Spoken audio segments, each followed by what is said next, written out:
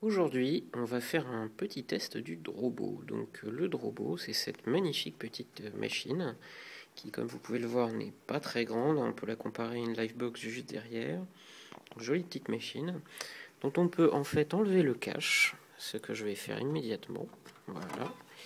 Et qui contient magnifique 5 disques durs euh, dont les tailles sont oscillantes entre 1 Tera et 1 Tera 5.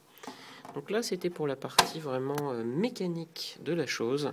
On va passer à la partie logicielle. Donc là, voici l'interface de gestion du Drobo. Donc on peut voir pas mal de petites choses assez intéressantes. Hein. Je remonte l'illustration, la, fenêtre, pardon. Donc en fait, on voit ici qu'on peut euh, checker tous les disques durs. Donc on a un mélange hein, de, différents disques durs. Ce qui est très intéressant, c'est qu'en fait, l'ensemble des disques durs sont pris en compte. C'est-à-dire que dans une grappe RAID habituelle, si on a deux disques durs de 1 Tera 5, ils sont vus comme de la même taille que les plus petits disques de la grappe, c'est-à-dire 1 Tera, ce qui n'est pas le cas ici.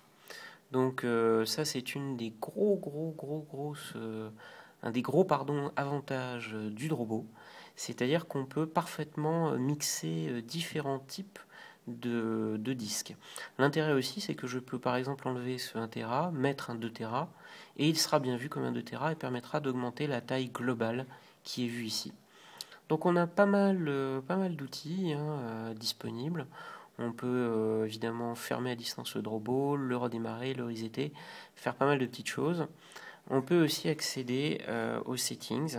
Donc sur les settings, on a le dry spin down. Alors le dry spin down, c'est ce qui va en fait permettre de couper les disques durs qui sont toujours actifs mais qui ne tournent plus. Donc il y a une petite temps de latence avant qu'ils ne reviennent.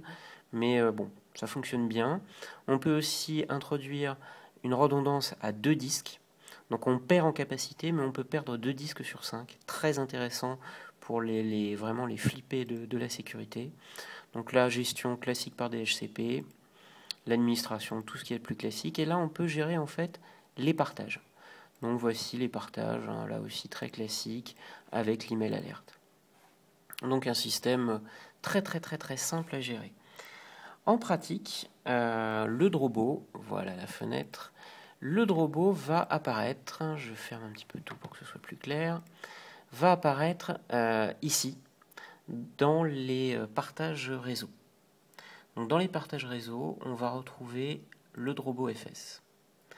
Le drobo FS, que voici, je suis en recherche, donc là maintenant, je vais reculer un petit peu. Donc là maintenant, en fait, on a euh, évidemment les partages du Drobo. Donc bah, mon espace de stockage avec ici un backup et évidemment mon partage public. Et enfin, un dossier qui contient les Drobo Apps. Que sont les Drobo Apps En fait, on peut ajouter sur le Drobo des applications, en l'occurrence Apache, dans, dans, le cas qui nous intéresse, et faire fonctionner du code PHP puisqu'il y a une implémentation de PHP. Bon, évidemment, ce n'est pas un ordinateur, hein, il ne faut pas se leurrer, mais on peut rajouter pas mal de petites choses. Donc, euh, tout ça pour en venir au fait que le Drobo est vraiment un outil très simple, très efficace, très fiable euh, de stockage on peut mélanger pas mal de disques. Et typiquement, je reviens à l'outil de, gestion qui est ici, et typiquement ce qui est intéressant, c'est quand vous mélangez plusieurs disques, vous avez la capacité, mais surtout imaginons, là j'ai 5 euh, disques, euh, 1 Tera 5, 1 Tera 5 et 3 fois 1 Tera. Je vais passer par exemple sur les 1 Tera à 3 Tera puisque euh, le Drobo supporte les nouveaux clusters de 4K et donc peut supporter les disques de 3 Tera. Je vais rajouter donc 3 Tera. Comment je fais? Bah, Je vais d'abord enlever celui-ci. Ma grappe fonctionne toujours. Je vais mettre 3 Tera. J'attends un petit peu que la grappe euh, s'adapte à cette nouvelle capacité et mon disque est parfaitement accessible. Puis j'enlève ce deuxième disque, je mets 3 Tera, je réattends, j'enlève ce troisième disque, je mets 3 Tera, je réattends. Système très simple, très fonctionnel.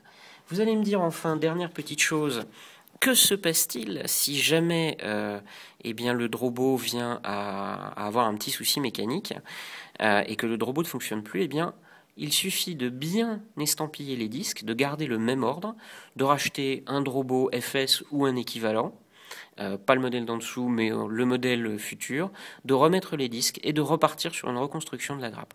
Donc un système vraiment efficace qui répond euh, à toutes les attentes, que ce soit en entreprise, parce que c'est un système entreprise, il ne faut pas se leurrer, que chez soi pour stocker des films, des vidéos, des séries, évidemment tout cela acquis légalement, de la musique et surtout des documents et principalement, comme je le disais, les photos qui commencent à peser très très lourd et les vidéos personnelles.